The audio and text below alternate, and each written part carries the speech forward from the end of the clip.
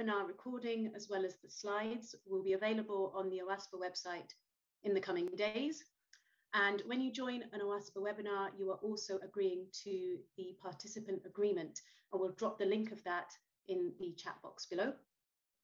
So I will now hand over to our chair for today's session, Vincent. Vincent, over to you. Have a great session, everyone. Great, uh, Ruby, thanks a lot. Um, I see still that there are people coming in, but since we have, as always, a jam-packed program, I'm just going to start with introductions. Um, so thank you all for attending today's OASPA webinar. Um, OASPA would like to thank its 2022 webinar series sponsors whose support enables us to make webinars available to everyone. Um, past webinars can be found on the OASPA webinar uh, website at the address that should appear on the slide. All right, this is the thank you slide. Should be another slide coming up with a, a, a web address. Um, and the link of today's recording uh, will also be found or can also be found there. And uh, we'll make sure that everybody who is registered for this webinar also gets an email with the link, um, as well as the slides of the different presenters. We're also going to put them up. So we have about 480 uh, people registered for this webinar. Uh, usually about 50% of those who register also attend. Um, I currently see about 165 people uh, in this webinar and counting. So um, that sounds about right. So we have registrants from all over the world uh, and from 54 countries. Uh, North America and UK uh, usually make up health, but for this webinar, we also have a lot of registrations from Brazil, Vietnam, South Africa, India, Netherlands, Germany, France, and Indonesia. And registrants come from approximately 360 different organizations um, over half of the registrants are from an academic library, with many others from publishing organizations, academic research, nonprofits and charities, governmental and non-governmental organizations, amongst others.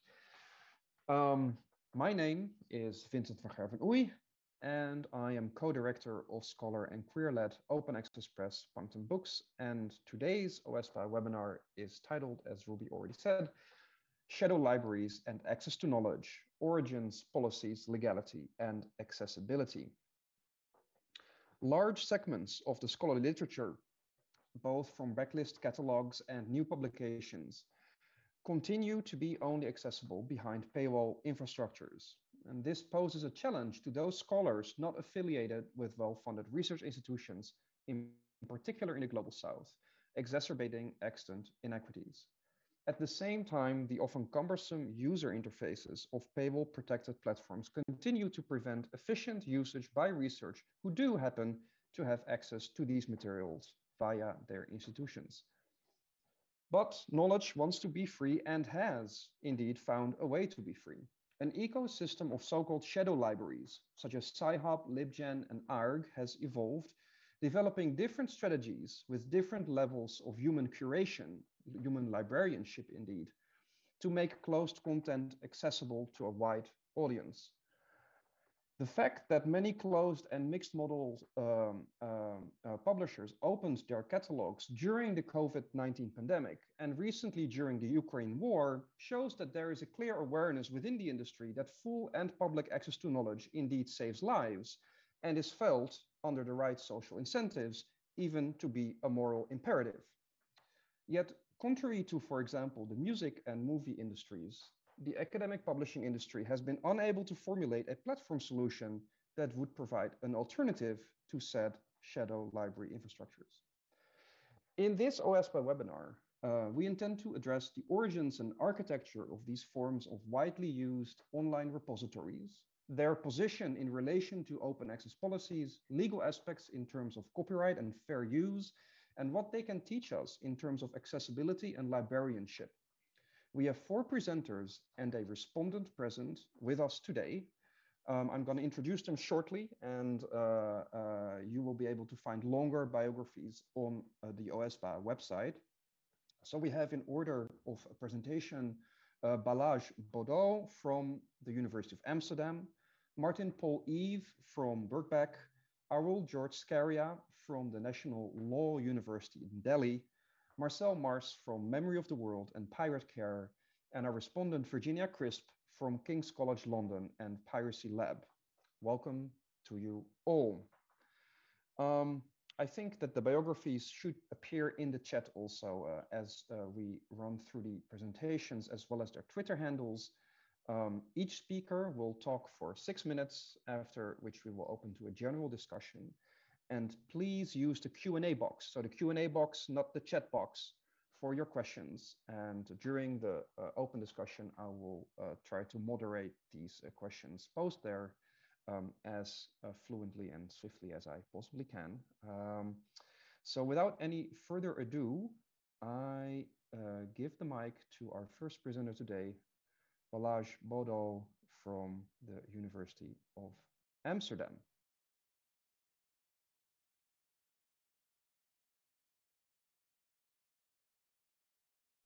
You're on mute. yes, okay.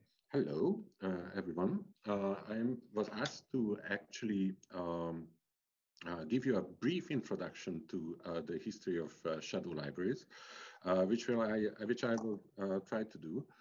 Based on based on actually this publication, Shadow Libraries Access to Knowledge in Global Higher Education, which is a collection of research projects um, organized by Joe Karaganis, who edited this book, uh, who looks into uh, how uh, in various countries across the world, from South Africa to Uruguay, people access scholarly works um, uh, in research and education. And in that uh, book, I wrote a brief chapter on the history of uh, library genesis because I was fascinated by the fact that on the one hand, it seems to be that uh, building digital libraries was the first killer application on the internet. Uh, Project Gutenberg uh, already started in 1971, so it was really the, one of the first activities on ARPANET. Um, but it declined at least uh, uh, uh, um, the, the, dream of the universal library very fast. and this decline was due to the fact that even if there was any uncertainty around the legality of like digitizing works in copyright and then putting them up on the internet, uh, this uh, uncertainty very quickly uh, went away through a number of lawsuits and legal conflicts around what HathiTrust or Google Books have done in terms of digitization, which rendered many of the, um, uh, the, the, legal digital libraries incomplete because they could only uh, publish uh, uh, out of copyright works, and also pushed uh, the idea of the universal library underground. Um, and there are a, a, number of these shadow libraries which try to give access to uh, works which are in copyright uh, to, uh, to people who need access to that. Uh, some of them are very local in terms of collections. Uh, the Silent Library project only deals with Hungarian content. The uh, Polish Chomikuj site uh, deals in um, or serves Polish audiences. there are some thematic niches like the ARG or Monoskop um, collections. Uh, many of these um, uh, uh, shadow library activities are platform specific. Uh, on Twitter, there's a hashtag called ICanHazPDF. On Reddit, there is a Scholar subreddit uh, which shares or gives access to um, to um, to otherwise inaccessible content. There are still IRC bots, which you can actually ask uh, uh, to deliver um, uh, ebooks. There are dedicated torrent trackers. There are, um, uh, like what Marcel will um, uh, demonstrate, um, plugins on, uh, on, on Calibre, which facilitate the sharing of um, the clandestine sharing of books. but the two biggest uh, uh, uh, platforms of having access to scholarly literature are actually both very out in the public, very vocal, and also very large. Library Genesis is a book collection. Uh, today, I've checked, it has uh, more than 3.2 million records. These are not 2.3 million different books, but close to it. Um, and Sci-Hub gives access to eight, uh, 88 million uh, journal articles. And these both uh, operate uh, outside of the boundaries of legality, so they are both copyright infringing um, and blatantly so. Uh, the other interesting uh, characteristic of them is that they are both operate from or around uh, Russia or post-Soviet um, territories. Alexandra is a, a, a Kazakh scholar uh, and Library Genesis is uh, predominantly a Russian-speaking project.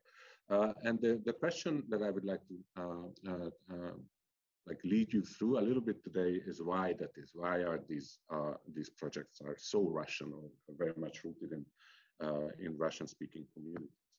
Um, and there are a number of reasons. So I would like to argue uh, that uh, uh, both Library Genesis and Sci-Hub are actually a product of a number of overlapping uh, histories or developments or, uh, or political, social, cultural uh, um, uh, contexts, which uh, created a very unique and also very specific environment in which these services could be born and also can survive. So um, uh, the uh, the first one is the the copyright tradition of uh, both the Soviet Union and Russia, um, the Soviet IP regime uh, has uh, very only very it was a very lax uh, regime and it uh, prioritized knowledge imports, so it didn't recognize uh, the copyrights of foreign authors, and it also didn't put constraints on uh, translation. So there was a very permissive copyright regime, and there was also a very strange copyright history where the uh, Soviet and then later the Russian post-Soviet uh, IP protection frameworks remained very weakly aligned with the global uh, uh, regimes. And you can see that uh, uh with this announcement a couple of weeks ago when Russia under the sanctions announced that it's gonna will not respect any foreign copyright or IP IP rights. This is coupled with a very lax and very selective domestic enforcement uh, mechanism. So even if there are formal uh, IP rules, uh, their enforcement is not guaranteed. Second, there is a very strong cultural tradition of Russia being a reading nation. Uh, they have seen themselves, they are seeing themselves as a, uh, as a nation very proud of their uh, literary uh, traditions. Uh, and this is coupled with a very strong norms on uh, commonality and knowledge sharing. which developed in the Soviet era, both in opposition to censorship, but also in opposition to the economic hardships which prevented the existence of a healthy literary market. Uh, third, there is a very strong political legacy that, that we have to be aware of, and this is the samizdat culture. Uh, in face of the uh, Soviet censorship and political opposition, a vast uh, and a very deeply rooted uh, set of skills and practices emerged, which were there to actually bypass political censorship and ensure both the production and the circulation of texts in face of uh, in a hostile in environment. and that like survived uh, in the post-Soviet era as well. Um, take this as the like the general environment and then put uh, individual uh, histories in there, individual histories in terms of institutional stories and then uh, personal stories. When it comes to the institutional histories, what we see is that there are a number of highly influential Soviet Russian higher education and research institutions, which, which were uh, uh, in a strange position. On the one hand, they had very early access to computers. Second, they, were, they didn't have access to knowledge. Uh, and this uh, uh led to a solution where many people in these uh, uh, institutions very quickly at the turn of the 90s developed large-scale text archives where they digitized everything that they had access to or they wanted to have access to. And they started to build this immense text collections, textbooks, uh, uh, uh, books, journals, which they scan because they could, because they had the scanners and they started to circulate this through CDs and DVDs and later internet. Interestingly, the very first English language pirate library, Shadow Library, Gigapedia, which has been shut down um, in the early 2000s, grew out of this Russian collection uh, by taking the English language uh, works and putting them uh, uh, uh, online visible for the English-speaking community. So that's the institutional history, and there is also a personal history where uh, uh, librarians like Mas uh, Maxim Moshkov, who started up Library.ru, um, um,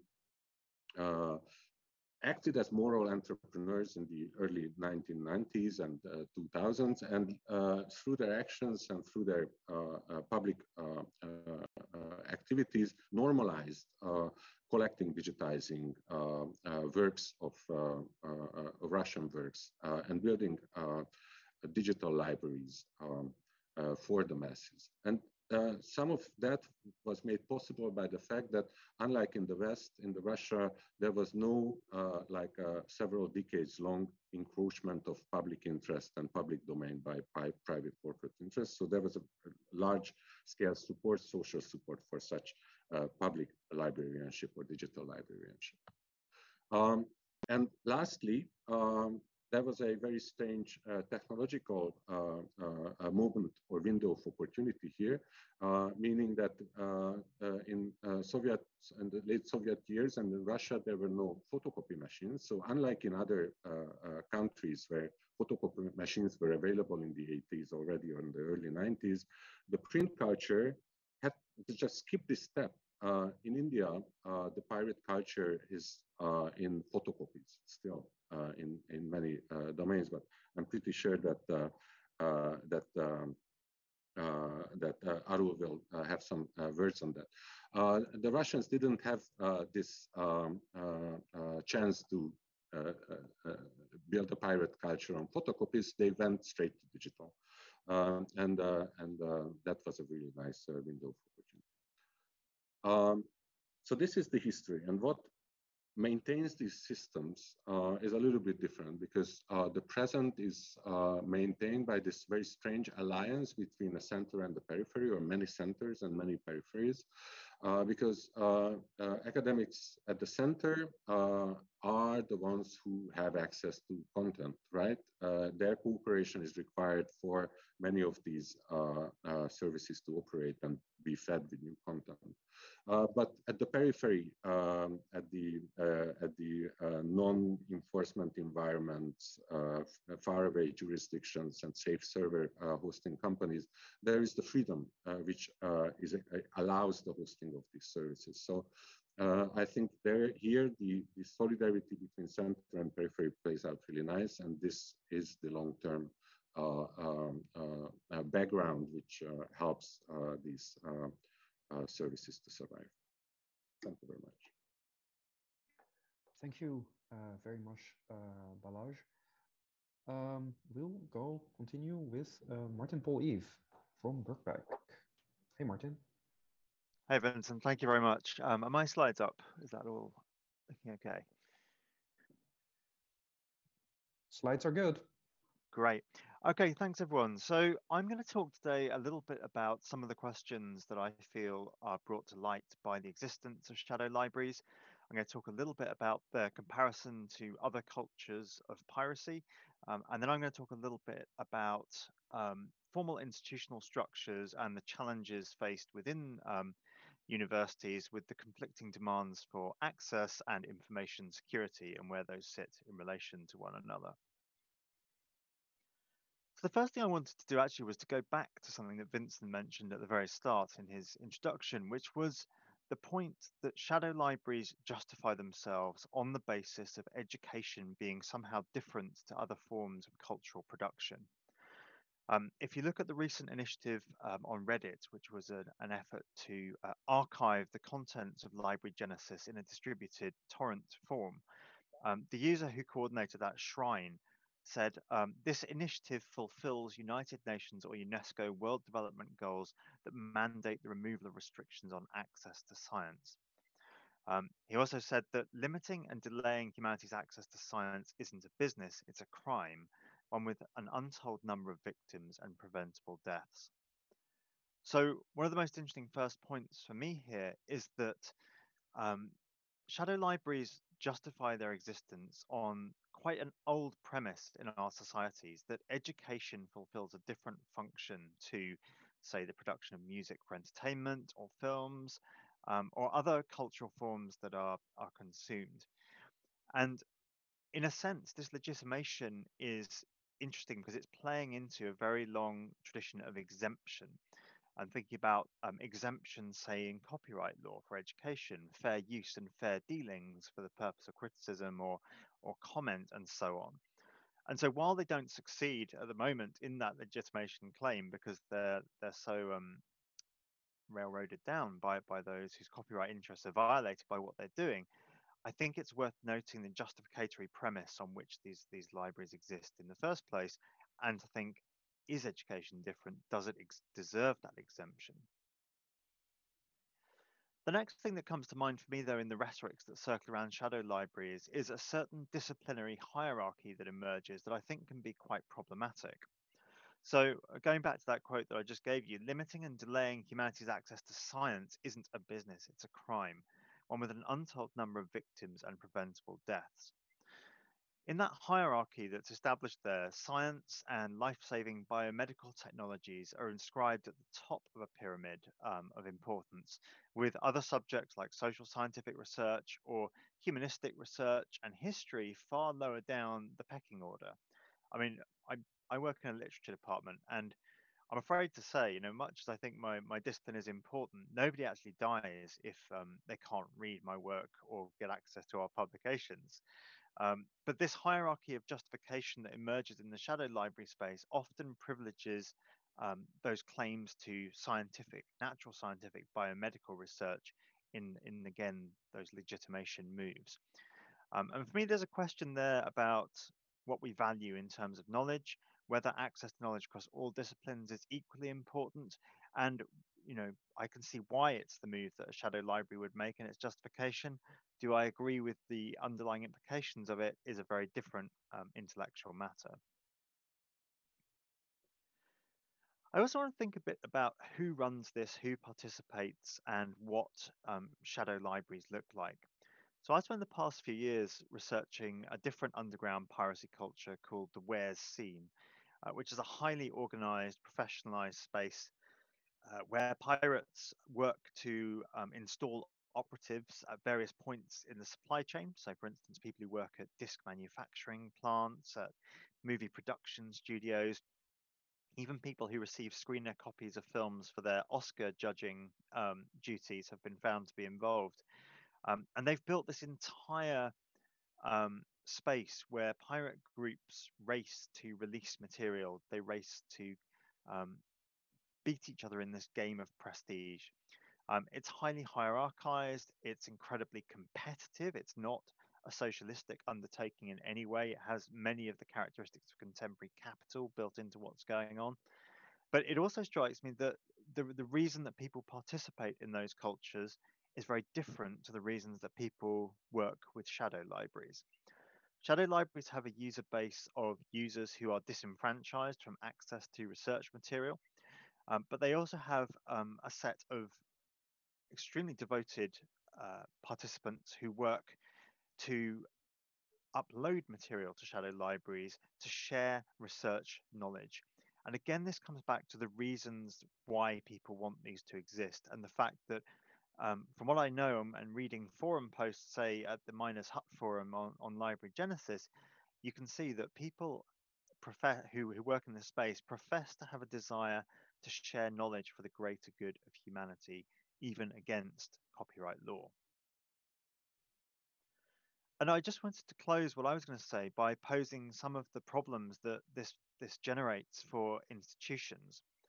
So the the most strident criticisms of Sci-Hub, Library Genesis, and so forth is that they use uh, stolen credentials from academic libraries in order to populate their database and to run the automatic harvester that, that pulls in articles into what they're running.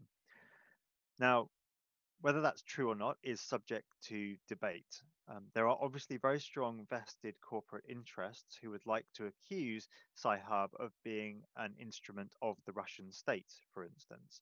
Um, that's a very potent political claim to make right now, and obviously makes it hard to justify some of those activities.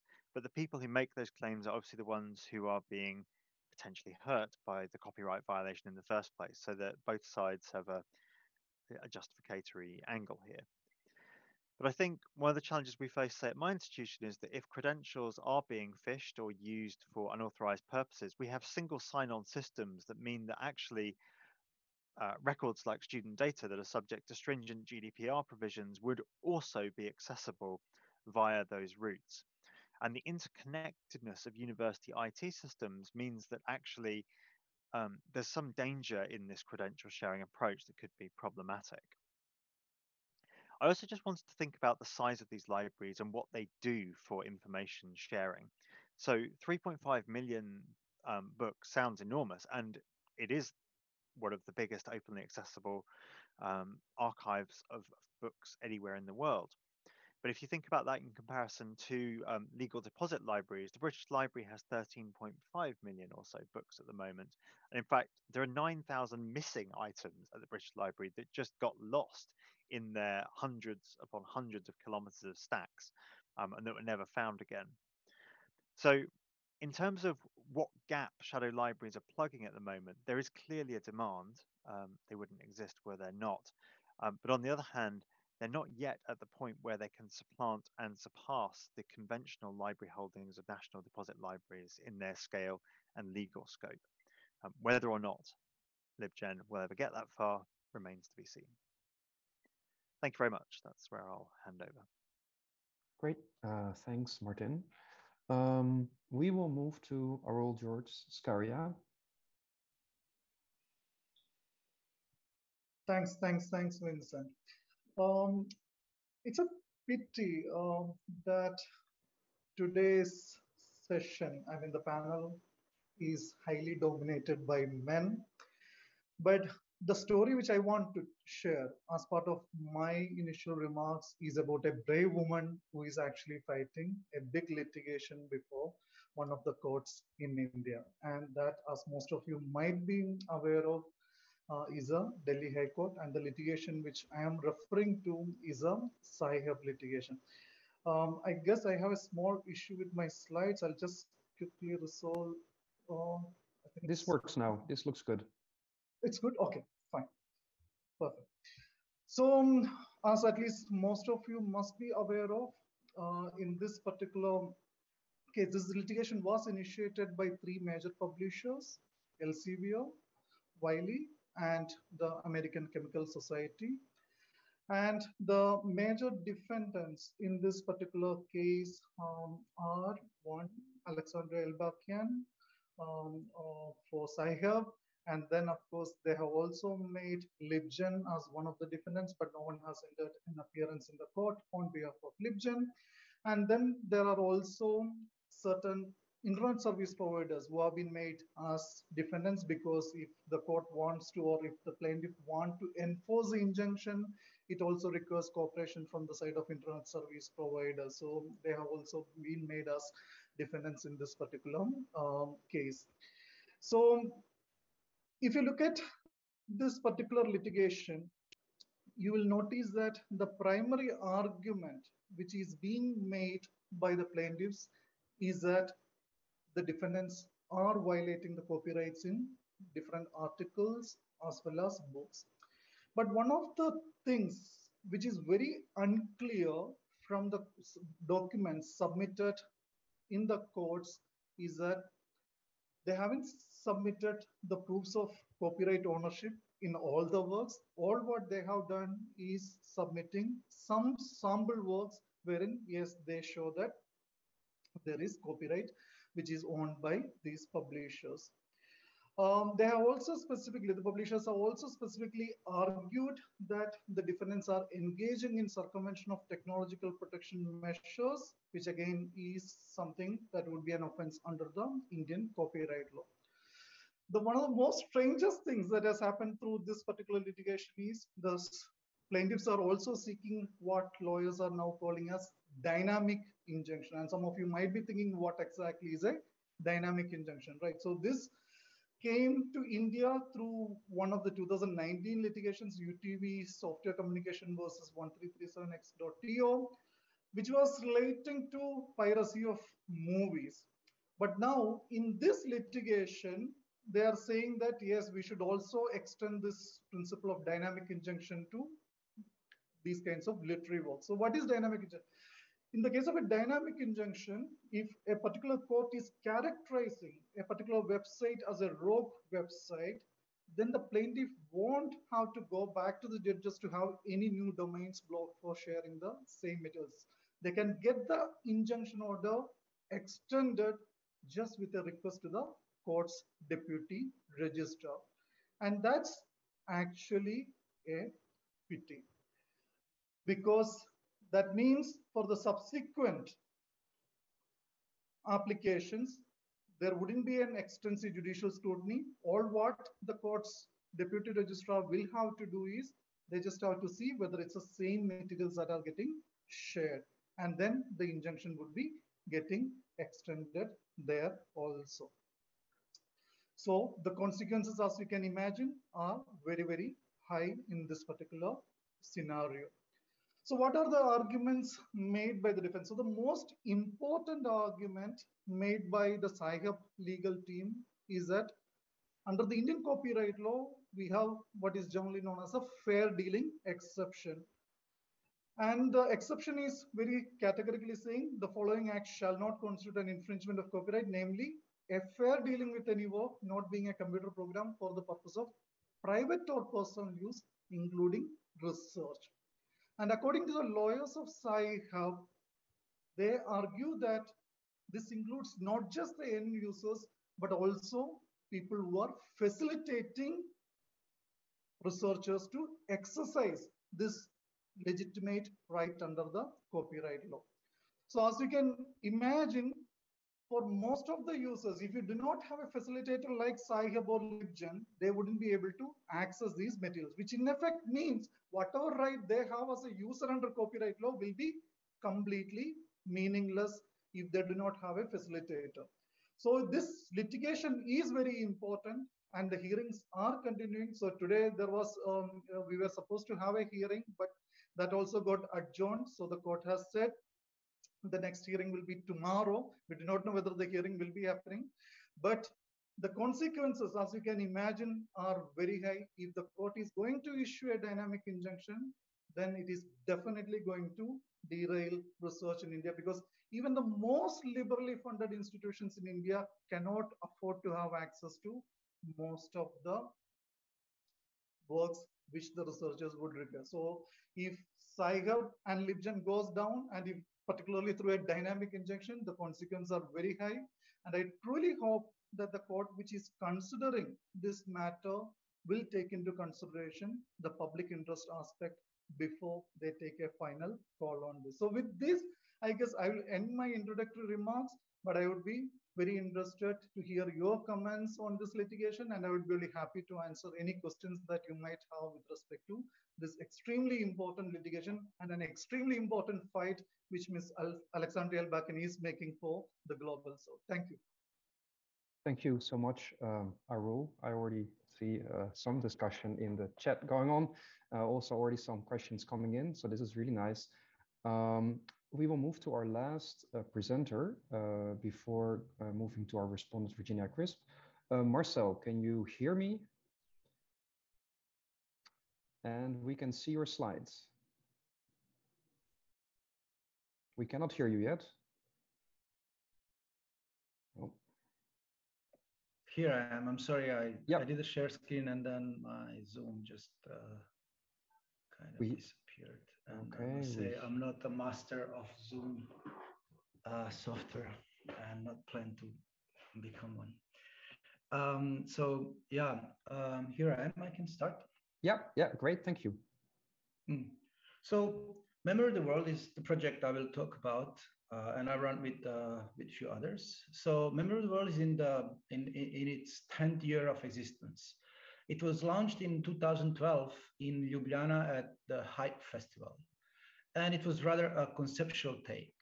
Instead of running another instance of curated uh, new media art festival, um, we claim that uh, HAIP Festival is a public library that the space we inhabited is the space of a public library, and that the program we run for the days of the festival is the program of a public library.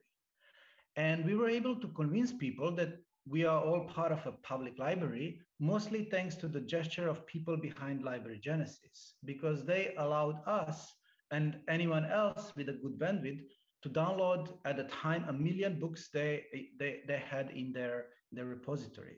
So after a few weeks or rather months uh, before the, the festival, we were able to say at the launch, here they are, a million books in a box in at, at a server sitting with us in, in, in the same room. That made us comfortable to run a program raising all of the problems we still discuss today. Also, we felt that imaginary horizon is a very important part of the change we wanted to see. And we believe that when it comes to digital networks media, a good demonstration showing what is possible on your screen says a lot says a lot about what is possible in the world away from our keyboards. Showing what is possible was the initial reason for Let's Share Book software to be developed. And that's the software which is behind Memory of the World and which I mostly uh, uh, uh developed and, and, and, and, and wrote. And what we wanted to support and articulate with that demonstration was the idea of a public library where a public library is free access to books for every member of society. It's a library catalog and a librarian. And with books ready to be shared, meticulously cataloged, everyone is a librarian. And when everyone is a librarian, library is everywhere. so that was just like our rather kind of poetic and uh, deliberately naive approach to all of that. And in 10 years, Memory of the World went from just a demonstration on a screen of what is possible at that day into the proper infrastructure in which a dozen of librarians uh, run a library of more than uh, 150,000 books at the moment. Um, so here's just like the latest uh, latest titles. Uh,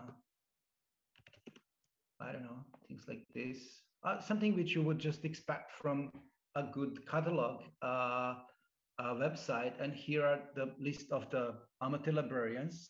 It doesn't uh, fit on this on this screen now. There is more. Anyway, um, so every single book here on on this website on Memory of the World is there because a human, an amateur librarian, have chosen a book and took care of its metadata, cataloging, and then joining a network of other amateur librarians who care and share their books and who also share the vision that that's the public library we actually know of from a, a, a long period of time and which got that vision and a proper infrastructure and all of these institutions which got in trouble when actually uh, when the, the time and the age of digital uh, network came. So if you would talk to anyone decades before uh, internet, what would be possible in the future? Everyone would, would say just public libraries must blossom in that age. But what actually happened, and it's getting worse and worse in last 10 years of our existence, uh, uh, it actually it, it, got worse, is that these uh, uh, uh institutions are very much in trouble whenever they want to do what they promised. And when we as a society allow them to, to, to that's how, how we actually make that happen. So, so when we want to found institution, usually that institution will share the mission and vision with us. And then we say, yes, we want these, these institutions. We share the vision, we share the idea how society should be, and this is why we'll care about it uh, uh, institution. And what actually happened was that uh, that that our beloved institutions, with all of its problems, because there is no institution which could be run without problems, without being sensitive enough, with, without the idea uh, uh, how to actually serve the society. But in this case, uh, even when they want, even when when they uh, uh, uh, try to do these things, they they get in trouble. So that's why we see our project as something which is accompanying, which is coming from a shadow to support that idea and to support of these all of these institutions and what we would be the happiest if um, if we will just be like redundant when the institutions will actually take care of that and uh, you mentioned before i was also part of the pirate care project and that's the project which lists and uh, uh, um, and, and and support and kind of do the research in which the disobedience uh, and practices with the disobedience uh, are actually in existence today. And I'm just like, I, I'm running out of time. So now, so what I'm trying to say is that the vision of a society we want got in much of a trouble. And then people who actually help get there are also getting in trouble. And they are not only getting in trouble because that's hard, but they are getting in trouble because the institutions are running our society are not letting them do that. So we have a complete schizophreny where our heroes are in illegal status, where our heroes who go with the boats to save some lives in the Mediterranean Sea are actually getting in prison. When people who share books in that sense are also supposed to end up uh, in, a, uh, in a prison, or people who would provide a medical care, who would provide a support for people who are not recognized as regular people will also get in trouble. So that's why we are here. And I think that the, the, the, the, the, the problem is very much uh, uh, uh, clear when it comes to the public libraries and where, where, where it comes to what we are talking today. Uh, yeah, I'm, I'm done. Thank you. Thanks. Thanks, Marcel. Um, all right. So we um, uh, have a respondent Marcel, you're still on, so maybe you can mute. Yeah, great, thanks. Uh, Virginia, joining us from London. Hello. Thank you. Well, I'm I'm actually masquerading as being in London. I'm Cambridge, but uh, close enough. I'm still in the UK. Um, thank you all so much. Um, I'm I'm very honoured to be a respondent to, to so many interesting thoughts. Um, I only have a few minutes though, and I don't want to go on too long because um, there's bound to be lots of really fascinating questions. I have a couple of reflections. Inevitably, I'm going to miss an awful lot of very fascinating things that were raised. Um, one of the first things I actually want to pick up on is as from the, the overall blurb and Vincent's original introduction about sort of academic publishers being unable to provide a legal solution um, in in the face of these kind of shadow libraries. And I have a couple of reflections about that because um, there were lots of claims about the movie industry being incapable of um, providing legal solutions in the face of piracy after the music industry had apparently um, completely failed to respond. Um, and we're talking sort of late 90s, early 2000s here.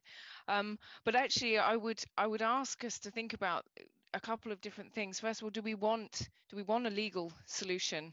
Um, do we want to maybe somewhat completely rethink our entire neoliberal understanding of how we commercialize knowledge and and how we sell that?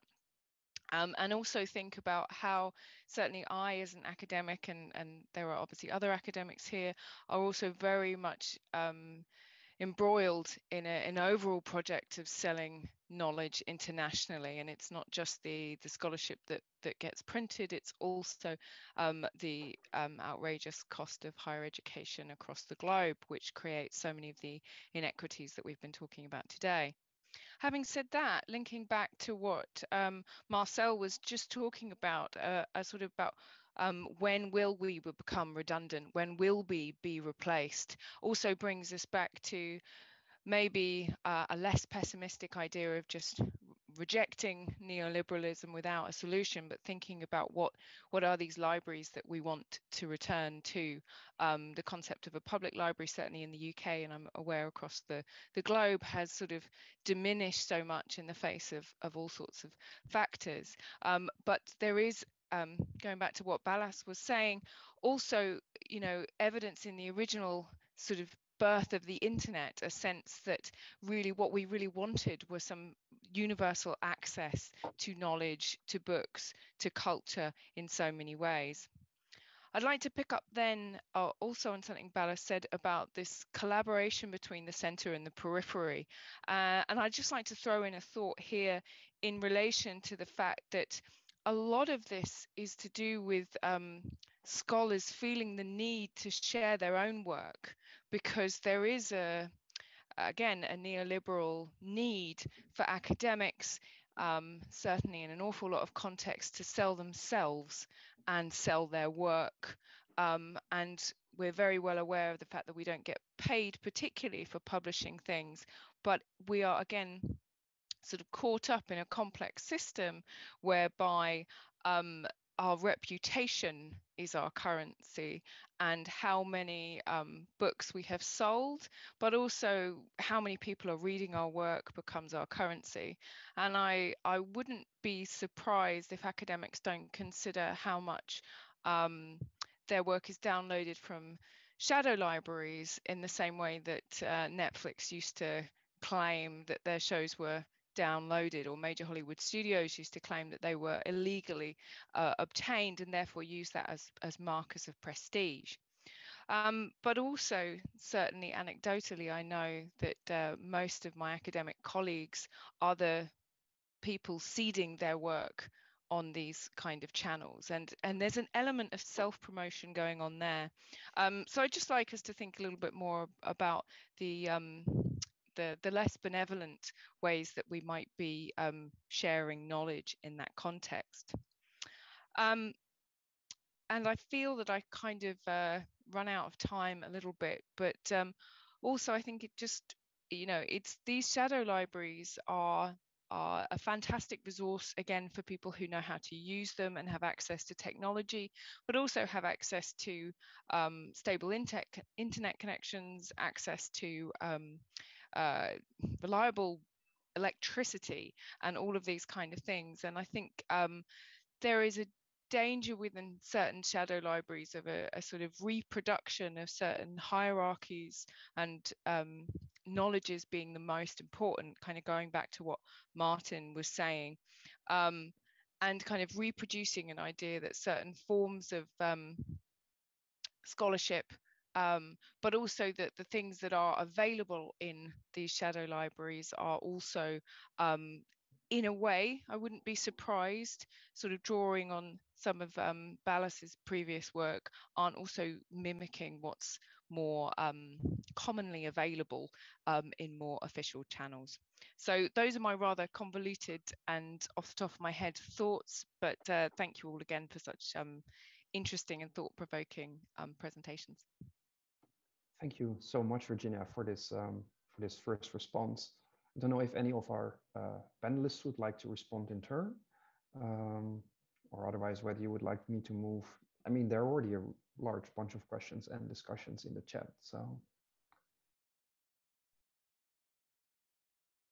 All right. Well, why don't I? I mean, I just I just read this uh, in the chat. Uh, it's from uh, Willa Liburd Tavernier. I hope I pronounced your name right. Um, and I just want to take a snippet of that and then segue into one of the first questions in the in the in the Q and A board. Um, so Willa writes, it's very evident that these issues, like so many others, uh, are uh, uh, about power. Who has the power to make laws enclosing knowledge within specific countries? Um, and I think that this is um, this this directly uh, points to the uh, to the issues, some of the issues that Arul um, mentioned in his uh, uh, in his presentation uh, that that ideas of fair usage may vary widely depending on the jurisdiction in which they yeah, in which they are oper operative. Um, and I would like to segue from that to um, and also maybe because like in the end uh, OASPA deals uh, with you know with open access publishing as, as Virginia also indicated um, maybe for the first question, I would like to go to one of Katrina McCollum here, um, which says the following. Uh, open access uh, CC BY uh, could in principle solve the problems associated with the growth of shadow libraries, including expensive litigation, if there's also an open infrastructure to support access and discovery. Do the panelists think that open access is a solution? And how can we ensure that the relevant infrastructure is also open? Or will there always be a need for the sci-hubs of the world? I think it's a really nice open question. Um, any of the panelists or or Virginia, feel free also to respond and to uh, uh, uh, uh discuss um, uh, in response to this question.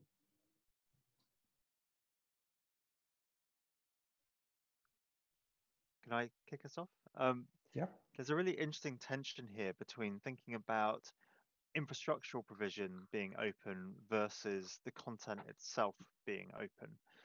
Open access addresses that latter matter, and if we had universal open access, um, you know, a large part of why Sci-Hub had to exist would would disappear overnight, and that would be, you know, a huge gain. On the other hand, it's also worth looking at how Sci-Hub actually works and what it gives you it gives you a single search box where you can just put in an identifier and you immediately just chuck the article back without any faffing about, without going through institutional login systems, without having to, you know, you can even programmatically query it and get the file delivered directly to you if you want to do computational work on, on this stuff. And there's no incentive for many large commercial players to develop something that works simply as well as that, even if the content was open.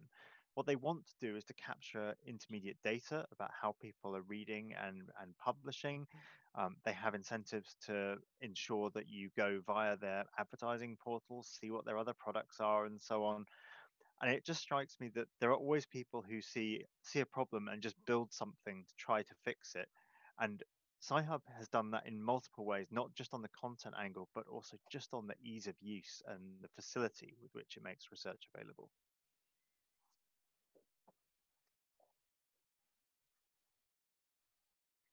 Thank you. Uh, Martin, any of the other panelists would like to address this?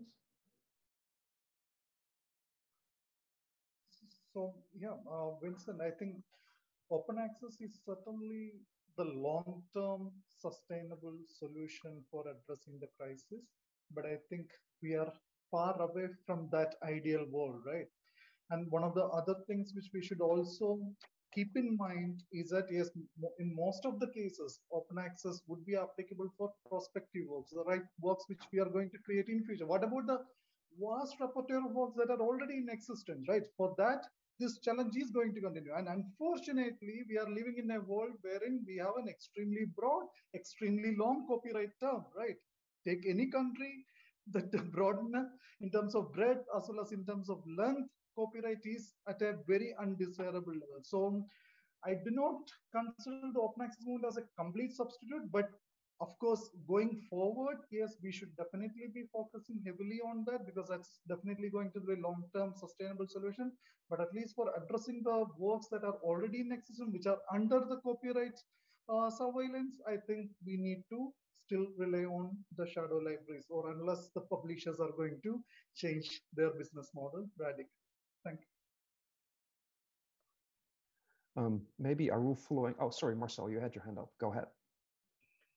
Yeah, I think that um, without changing the, the principles and why we would go into more open, and without the principles taking in account why we actually ended up here, I don't think that that would be really like that would ever like end up in what we wanted, no? because it is about the politics, it is about the power, and it is about how long some of the monopolies will go on.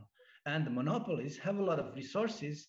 And if we don't have a clear principles, then these monopolies would invest into at least buying a time in order to appropriate what they can appropriate. So in that sense, uh, the what actually these uh, approaches could make is that the evaluation, the valuation of knowledge will will start to happen. So what we will actually have is like two camps and that's what happened in creative commons when it came to culture is that you would have something also very much spread in a culture which is kind of cheap which is not good. And then if you say oh i have a music which is creative commons and more, many people who wouldn't care about it would say like i don't want to be uh, uh, like uh, painted by that because it's already like bad. People don't want to listen to that. So in that sense, what I feel is that when you don't have a clear vision, what are the politics? Why we are doing that? We will end up in a in in in that sense in a in a new map where the the, the things without like a market value would be pushed in a camp which no one cares about. And then there will be a lot of politics and a lot of struggle around the things which we care about which public cares about. But actually we are shut down or we are silenced because what what is actually happening is oh we have the open uh, open access and we have this. And, and then we are not talking about time. We are not talking about how to address the climate change, how to address inequality in the world, how to address the maybe like a nuclear war, which will, like all of these things. And these are all very much connected. And this is about the politics. So in that sense, yes, it could help, it could help, but without the strong will, power, and they struggle we will never like we will never get there. And and and maybe we are in, uh, uh, naive in memory of the world when we want to do like a poetic vision why we should go there but we are absolutely not naive when it comes to what will happen if we just uh, say we are happy with open access. This is what will provide us a better world. I don't think so. In in in the in the in the way how it is uh, implemented now. Great Thank you. Thank you, Marcel. Um, I'm going to, because questions keep coming in and, and I always like to make nice segues, but it's not always possible. Um, so I, I, there's a question here for Arul that, that partially touches upon some of the, the things that you've been saying. So it's from Tobias, Tobias Steiner. Uh, Arul, is there any actual probability that Sci-Hub will become inaccessible if the Indian case is won, or will it mainly be stating the fact that it's that it is illegal? So what are the risks for the uh, Indian research community? So when this litigation got initiated, I think most of the people thought, okay, I mean, what will happen even if the court is going to declare this as illegal? But when I look at this litigation today, I must say that I am feeling scared. And I'm saying that for two reasons. One, the kind of remedy which they are seeking, the dynamic injunction is certainly a dangerous tool because as I tried to explain during my initial remarks, once they get an order in favor of them, all what they need to do is go back to the court registrar, who is generally an administrative officer, show her or him that the contents in XYZ sites are exactly the same. So please extend the injunction, which means it's us or it will become far easier for them to extend the injunction to the new um, domains. The second issue is in one of the recently notified guidelines, the government has made it very clear that there will also be, um, or the VPNs, the VPNs will also have to store data relating to the users, which in effect means um, once this gets banned in India, um, the access situation would be very, very different from what it might be today. I'm not sure how many of the researchers in India will be uh, technologically as well as uh, legally equipped to handle that kind of a crisis. So this is not a mere theoretical fight or a legal mere battle on illegality of something, but it's gonna cut the lifeline of research in India. At least that's my view on this. All right, thank you. Um, building on on this uh, this question of legality, there's a there's a question from Sybil van Eck.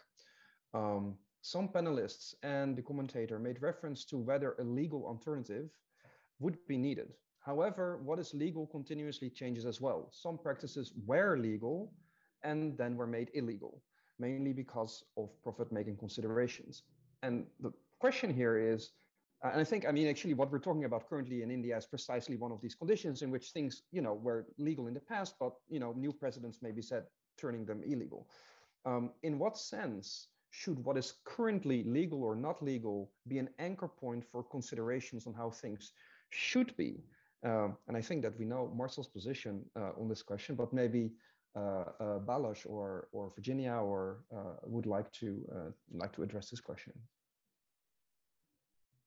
Yeah, I'm I'm happy. I, I'm uh, I'm actually at the at the at the Information Law uh, Research Institute uh, as a social scientist, uh, and I came here because um, one of my uh, my missions was to try to uh, to to explain to copyright scholars and copyright legal lawyers that some of the questions that they ever asked to actually deal with or or assess are not legal questions, um, and um, and you can see that being manifested uh, in like the very different uh, ways how different library private pirates in this domain are actually giving or not giving their face to uh, blatant copyright infringing acts.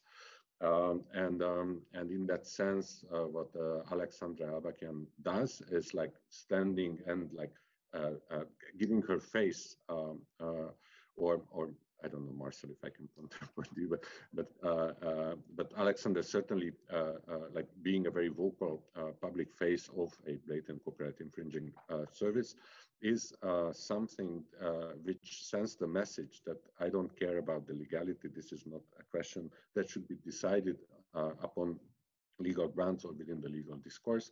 This is a political question, as Marcel said, uh, and uh, it requires political solutions. Uh, but the question then is like, there is no political uh, will, but also I don't see political uh, opportunities to actually uh, undo or change the legal environment. So what what we're going to be looking at is a, a continuous and, and permanent attention uh, tension here, uh, which which will not be resolved in any any meaningful manner in any meaningful uh, temporal horizon.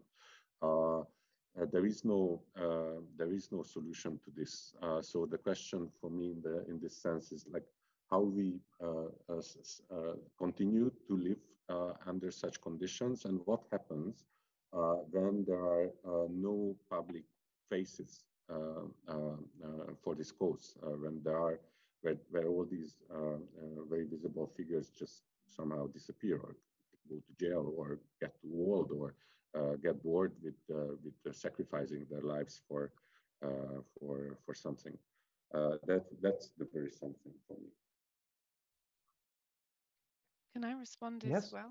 Go yeah, ahead. I mean, I think um, in my in my brief comments, one of the things I did was something that annoys me a lot is I kind of commercial, um, I conflated commercial and legal as to a certain amount in my head. Um, I I personally think that it, it often we kind of think when we're thinking about legal alternatives that therefore there should be a market answer to this. And i would very much reject the idea that that is the only or obvious way of of responding. Um, and also i think um, the, the the kind of problem for me about the the situation is how we balance the the purported uh, sort of uh, basis for copyright that is sort of enabling the creation of artistic works in, in whatever form that might be from academic writing to computer games um, and how we with with you know access to materials and access to culture and access to knowledge etc so i but I would also question that the kind of the current models we have for remunerating artists are, are also quite problematic. And they're problematic and they're kind of, and this was slightly raised by someone in the chat in terms of like the, the author or the individual musician struggling to to get by and the the figures for for the average salary of of those kind of individuals is, is really problematic. But then also there's a problem in the academic sector as well, which I was kind of hinting at in terms of if you're a tenured professor, you have a secured job job, but then you essentially give away your writing for so so little that it's almost free. And so I would I would sort of say in the kind of questioning these legal the need for a legal alternative. There's definitely needs for alternatives. Um, I would, however, agree with Balázs that how practical that is and how how one might actually manage that is really problematic. Um, but I do I do feel that there is a tendency to feel that the market is the answer and eventually the market will get there that there's an inevitable sort of shift from piracy to legal um, alternatives and I, I would very much reject that kind of thinking.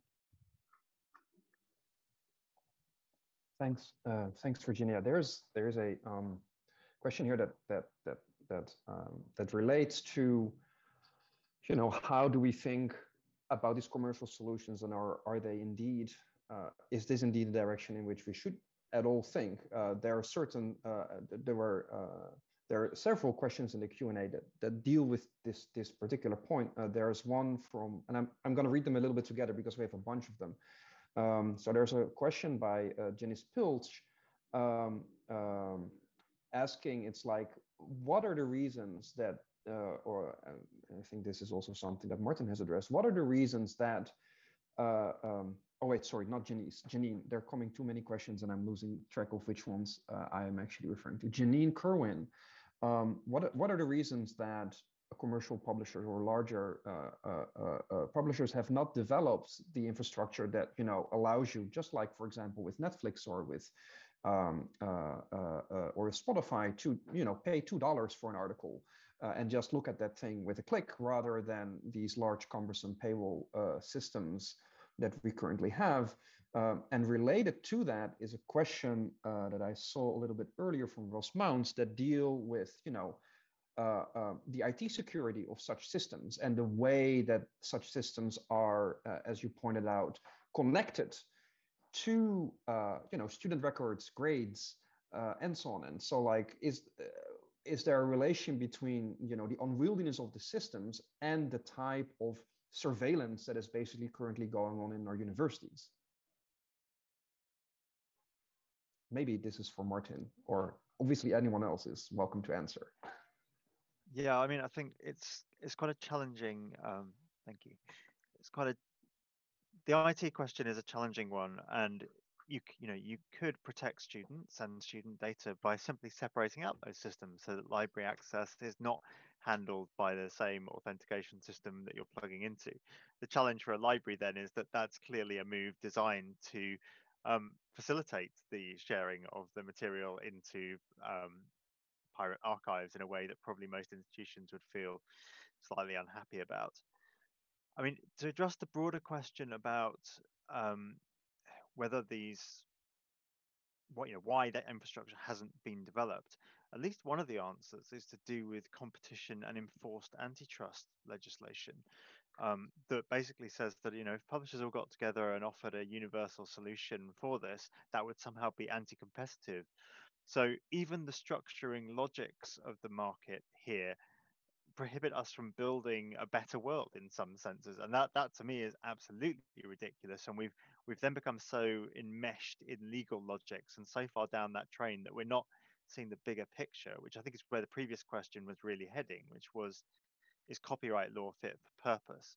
Is the copyright regime that was instigated in an era of print that relied on material sales to remunerate the labor of publishing actually an appropriate method for thinking about digital dissemination? And to me, that's that's the fundamental question that's interesting about legality here and commercialism, is that actually the world I want is one that values publishing labor in some ways. I published a book with Punctum, and you know the stuff that Vincent did working with me on that book and the other people who worked with him was labor that needed to be remunerated and valued. And I'm not saying we throw that all out, but Punctum has a business model to work for open access in what it does. Um, what we're not seeing is enough of a transition from most publishers to thinking about how they can sustain and value their labor and pay people for their labor if that's that's what they're doing and professionalize that um, in a model that is suitable for unlimited open online dissemination. One of the um, uh, questions here, I think, relates to, um, we probably should introduce this as well, um, uh, from, from Richard uh, Getty, I'm sorry if I'm, I'm murdering names here. I'm, I'm very sorry. Uh, Virginia, uh, but I think this again segues also, it relates to, to what, what Martin just said. Would you advocate for replication of the Latin American SciELO model in the rest of the world, right? So the SciELO model is uh, basically all universities publish all of their works open access. Uh, all of the research is publicly funded and publicly available. Um, would and so this also ties in with the question is is OA a viable uh, uh, solution, right? I think that answers the it answers the question in relation to just academic publishing potentially. Right. Um, I I I probably would advocate for that. Um, I think there are there are definitely problems though because I would see an issue in terms of who is employed and who is not employed, and certainly the current structure in the UK, as it is in many places, is that you can't really get employed until you have published. And then you might be in this sort of trap of, well, if you're not publicly funded, then your work isn't publicly available. And I can I can certainly foresee some issues, but without um yeah, without going into the fact that any solution is likely to have certain sort of drawbacks. I would I would certainly prefer that system to to the current system under which I work under, to be honest. Great, thank you. Um, maybe there in the beginning um, there were a few comments that dealt with the with the center and periphery, and I feel that also when we talk about Latin America and India, we are dealing with these center periphery questions. So I would like to uh, read this question here from um, Natascha Drubek-Meyer, uh, which says, uh, Balázs, um, I enjoyed the other perspective on open access, uh, i.e. its prehistory in Eastern Europe and how you developed the cultural facets, for example, of relabeling access as reading. Um, can you say more about your understanding of the periphery? And I think there was also a question from Katrina earlier on dealing with this periphery center issues. So would you, would you like to address that? Uh, certainly. Um, like, uh, so, so many uh, things to unpack here. So one of the things uh, that um, uh, that's relevant is, of course, the language. Uh, what is the language of the language composition of these resources? And Library Genesis is like 3.2 million records. almost 2 million is English language. Russian, less than a million and uh, and there are a number of uh, of uh, languages still represented German with 160,000 documents, Spanish 80,000 documents. But you see, it's it's it's uh, it's declining rapidly, and with, uh, with, even within the European Union, the, the many uh, different languages are suddenly becoming invisible. So it means that these these though these resources are framed as like the um, access infrastructure for science or for academia, they are very much concentrated on a, an English language or Anglo-Saxon uh, uh, scientific production. That's one center periphery question. It's like who's digitizing the Hungarian language uh, science or Croatian uh, uh, uh, scientific literary heritage, and what happens to there, how it becomes visible, how it, it's not. Uh, certainly, there is another center periphery here, which is which is geographic. Like, can Alexandra Elbakyan travel to the west? No, she she cannot because she's going to be arrested, and that's a kind of uh, objection, uh, her existence is uh, objected from a certain academic center or, or, or, institutional center. There is also a center periphery in terms of legal regimes, how in different jurisdictions enforcement is stronger, in other jurisdictions enforcement is less of a threat. Uh, and um, and uh, so uh, there there is this this this uh, inequality uh, in in terms of access to justice, but also like protection from prosecution, uh, whether that's just or unjust laws, and perspectives here also matter.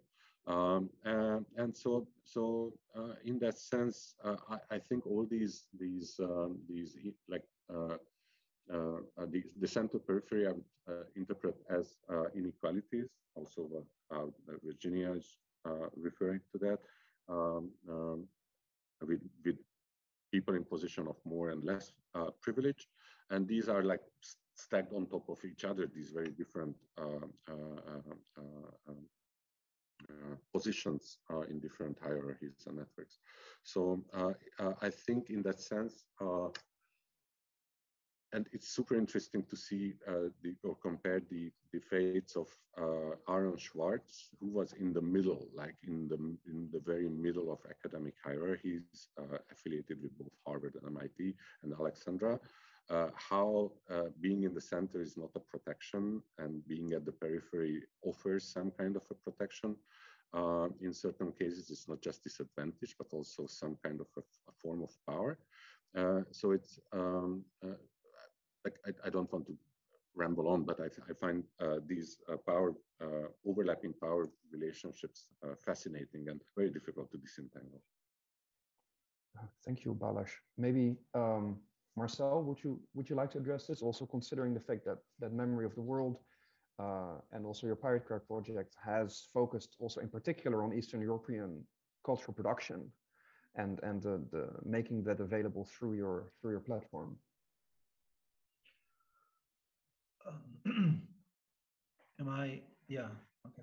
So yeah, I, I think that um, in in our case, um, I think that uh, we addressed a lot of again imaginary, but also it it kind of um, uh, it connects with with um, with the real kind of infrastructure, legality, and things like. So, for example, I'll, I'll just tell you like, so there is in Eastern Europe, um, uh, European Union from like around 2005 or six uh, went for the declarations and the full kind of uh, institutional support of the imaginary where the totalitarian communist totalitarianism is the same like fascism and Nazism, no? And that completely fueled the alternative Holocaust denier, the like extreme right, where they basically started to be very much established in very many ways. You know, like they would publish books by ISBN, they would probably like, and then uh, as a as a result, for example,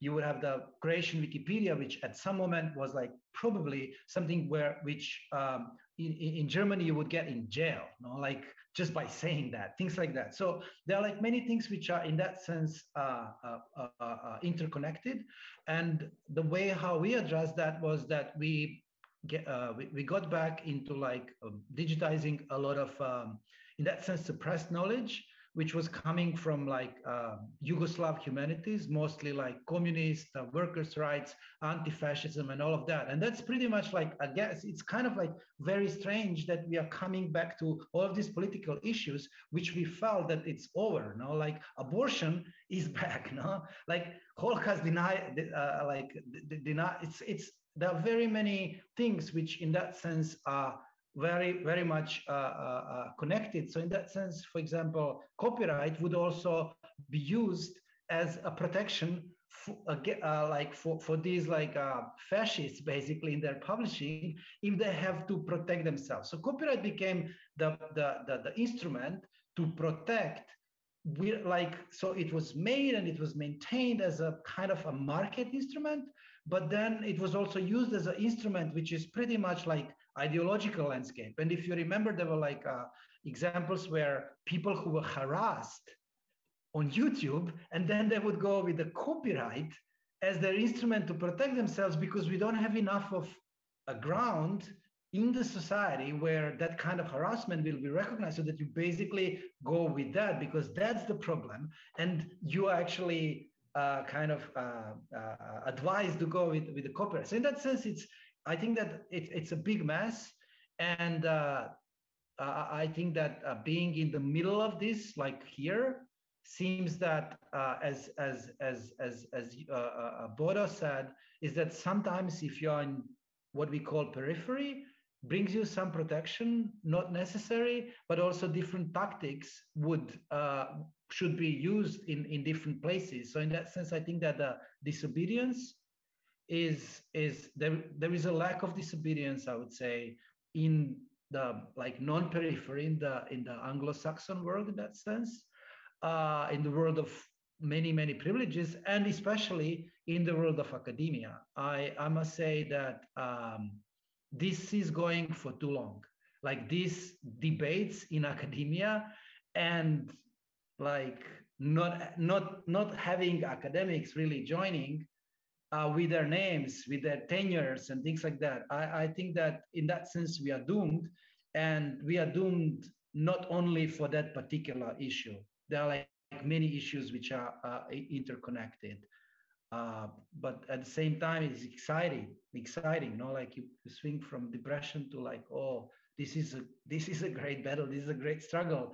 And and and and we want to like we want to fight for that. Know? So in that sense, uh, I'm super surprised that that that there is no more support uh, by vocal leftists in academia. No? I must say, without moralizing, just I'm surprised that there is no better support uh, by names, not just by yeah blah blah.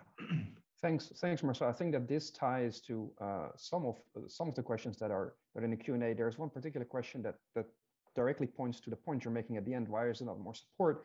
um, which is a question by Lisa Hinchliffe, um, which addresses this issue of like why or how, what are the procedures by which uh, shadow libraries or pirate libraries or gray libraries, however you want to call them, gain credibility?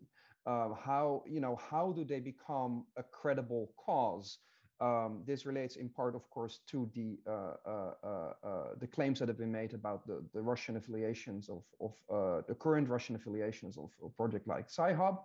Um, and I think that there's an interesting flip side to, to shadow libraries that also some of the questions I've pointed out, which is predatory publishing, or what is currently called in certain circles predatory publishing, namely the practice of publishing articles uh, in journals without any form of uh, uh, of peer review, often uh, you know using spam email tactics uh, and by using names um, of my naming journals in a certain way that is very close to to actually established journals that have gar garnered over the years some form of academic prestige.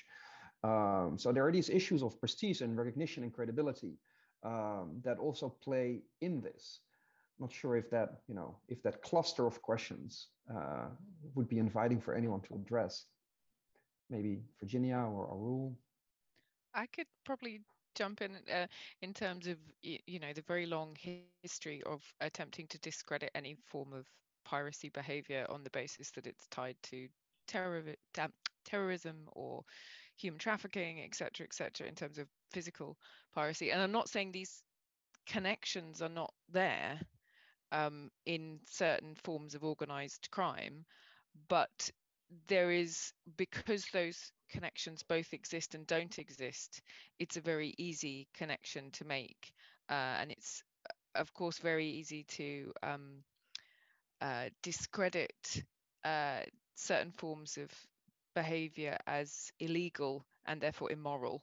So, I mean, I don't think there's that's particularly setting on the world the world on fire to say it, but it's it's my immediate reaction again in terms of the the kind of discrediting of these kind of libraries. That's not to say though that connections don't also exist that need to be considered um, in you know certainly in the current context.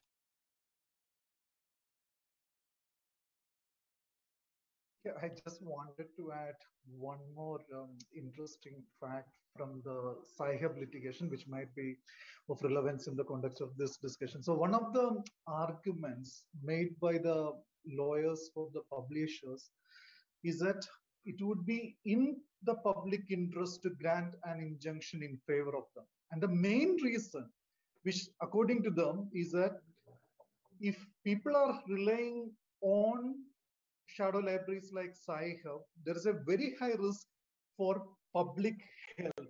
And the, the way they reason this is they say that many articles get retracted later.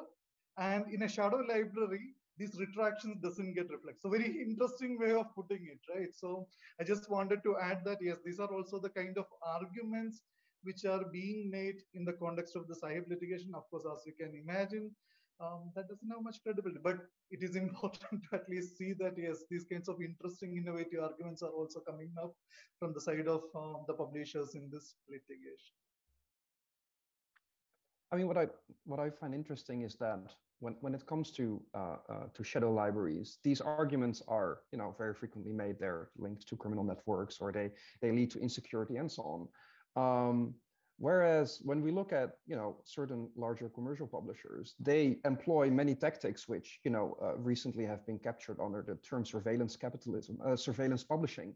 Sorry, uh, there was a Jeff Pooley article recently, and I think there's also one of our question askers. There's so many questions um, that that that that pointed. Uh, I think yeah, Eric Hellman's question here about the relation between surveillance capitalism uh, as even a possible model of financing shadow libraries, I would say that surveillance capital, you know, is actually financing regular, currently regular publishing practices. And so, how do we feel about these? Um, is it again a center periphery thing? Is that is that is that an asymmetry in which certain questionable practices of, let's say, established actors within the publishing field are are less questioned than, you know, very tentative relations between uh, or like tentative suggestions uh, between uh, Russia, quote unquote, and, and something like Sci-Hub?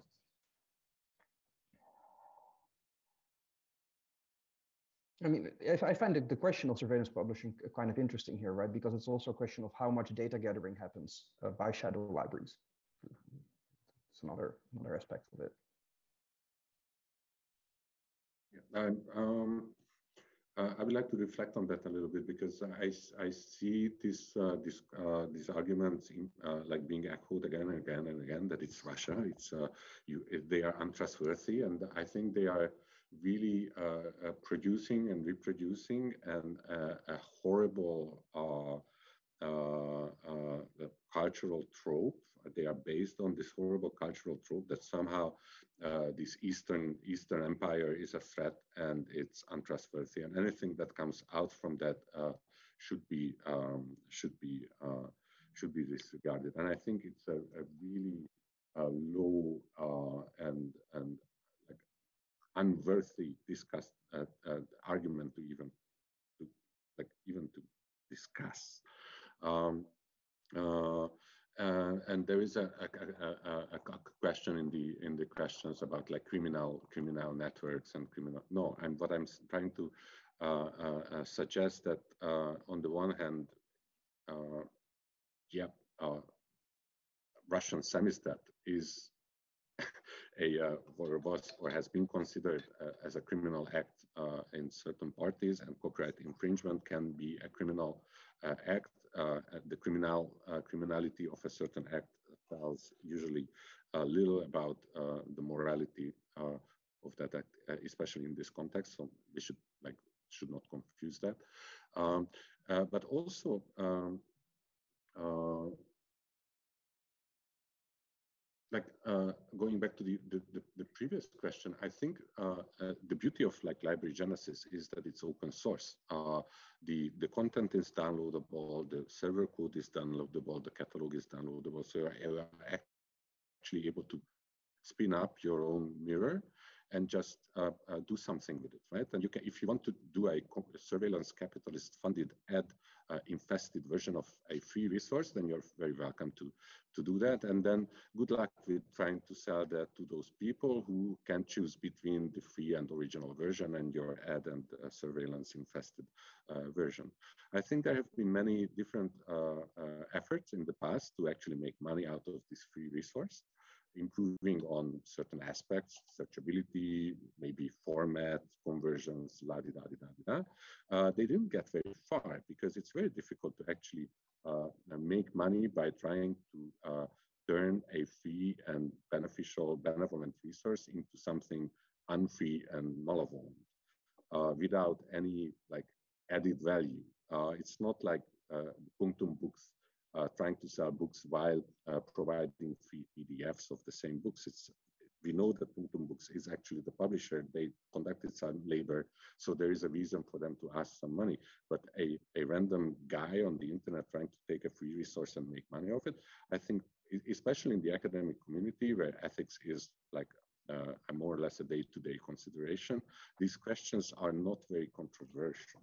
I, I would I would trust my fellow academics and and uh, and uh, scientists uh, to make the good judgments about um, about these issues. Great, thanks, Marcell. We have like a few more minutes, like two more minutes left, and I also want to make a last point. So brief. Yeah, very brief. So I think that the surveillance in that sense is like very much in, and I think that it's a very important struggle. Uh, but I think that we shouldn't get into a trap to think of that as useful. I think that it's mostly misuseful. So it's very much, it could be used for misusing, but also thinking that it helps Google, Facebook, and the others much. I'm not sure about that. I'm, I'm not sure that their revenues are actually becoming, it, there is a threat there, but thinking that they're already doing that. So then if we follow that, we will also be kind of like whatever we will be able to make some revenue out of that and, and things like that. I'm not sure about that. And i think that the biggest kind of trap we got into is like with uh, cambridge analytica thinking that that kind of surveillance really kind of helped them do something. No they're just like morons. They're like the worst of all kind of criminals. They didn't do any they didn't follow up on any of these promises of like uh, artificial intelligence and things like that. They just got into the spotlight and then they continued with bribery, with like paying people, the, you know, like they just got into the bad practices, which has nothing to do with the AI. But most of the world thinks that, oh, this is the surveillance and this is the age of artificial intelligence, machine learning, which will kill us. I'm, I'm, I'm, I'm sorry, I'm not sure about that. And I think that, that there is a big trap thinking of that in that way but that doesn't mean that the struggle against that, the struggle for privacy, the struggle against the misuse of private data and things like that, that's very, very important. But we shouldn't kind of um, fantasize how we will be, I don't know what, uh, by the, the, the, no, we should share and, and, and share more deliberately for the good cause so that we can help the human and things like that. So like these things should get into some kind of balance without only the dark fantasy how surveillance you know is actually good for capital like for for making money. I'm i'm i'm also not sure about that directly but uh, letting them do all of that that's bad and that's what makes their business uh, good. But I think that Google, Facebook, they would be just fine without surveilling that much because they have a quite good positions in uh, in the network for that. Uh, yeah. Great. Thanks, Marcell. Um, we have come to the end. I'm, I'm very sorry. There's still many uh, questions open. Um, we will try to answer these questions in writing and post them on the OASPA website. Um, I would like to thank all our uh, presenters today uh, Balázs, Martin Paul, Eve, Arul, uh, uh, uh, Marcell, and Virginia. Thank you so much for your contributions today. We have, I really feel that we have only just opened up the subject and enlarged it way beyond the purview that I had initially imagined. Um, unfortunately, this is what happens always in these webinars. Um, I would like to thank everybody who attended this. Uh, I hope that you found it a thought-provoking uh, encounter uh, concerning uh, shadow libraries and their relationship to the broader publishing and political landscape um, and legal landscape. And uh, we uh, from OASPA definitely would love to see you again in one of our other webinars that I'm sure you'll find announcement for or all over the web. Um, and with that, uh, I wish you a wonderful rest of the day or night, wherever you are. Thank you, Vincent. Thank you again to all of our panelists. And just a reminder, speakers, that you are still live. We will keep the webinar open for a few minutes to allow participants to take the resources. And again, participants, if you haven't been able to take the resources, we will share those along with the recording, the slides, and any further questions that came through later on. Um, so thank you again for joining us. And once again, a big thanks to our sponsors who help us to make these webinars available to everyone. Thank you.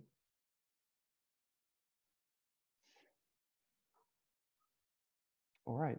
Well, thank you all. Um, I think that what usually happens is that we send the remaining questions around by uh, by email in a, in a Google Doc. Um, I wanted to get to Dave's question because it's this nice boom uh, final question, but there was no more time. Um, yeah, I really, uh, I really appreciated this this exchange. I think that it was quite quite stimulating. Yeah. So, um, thanks for organizing this. Yeah, you're. Thank you, Vincent. Welcome. Thank you. Thank you. Thank you. Thanks, everyone. Thank you so much. Yeah. Um, feel free to hang out. I think we're still live. Uh, Ruby will tell me when when we're off. Uh, but if you have other things to do, then uh, hope to see you at some point in person or digitally.